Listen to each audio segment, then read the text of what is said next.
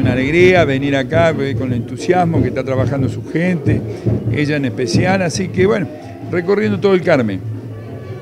¿Va a dialogar con los vecinos? Eh, vamos a hablar con los vecinos, le vamos a decir nuestra propuesta, vamos a tratar de colaborar lo máximo posible cuando estemos en el Senado con el tema del tabaco. Bueno, queremos realmente que la producción salga adelante, por esa, pero no es desde hoy. Siempre venimos apoyando todo lo que sea producción y trabajo.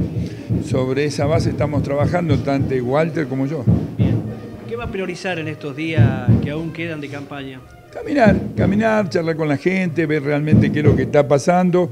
En cada lugar hay un sistema distinto, hay una problemática distinta, pero casi el 90% lo único que pide es trabajo, quieren trabajar la gente, nos están faltando mano de obra y después la inseguridad. La inseguridad también está recorriendo fuertemente casi en toda la provincia de Jujuy y también, por qué no decirlo, también en la nación.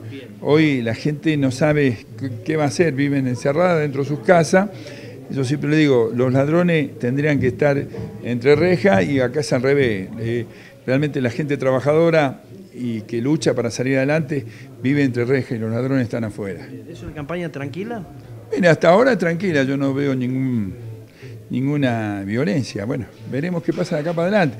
Usted sabe que los 7, 10 días últimos son los que más picantes se ponen, pero de parte de nosotros lo único que hacemos es salir, caminar, tocar las puertas, charlar con la gente, ver realmente qué es lo que está pasando y, yo y sobre eso eh, pensamos darle soluciones, lo poco que vamos a poder pero sí queremos ser una oposición firme, pero no destructiva, no, no sirve la destrucción.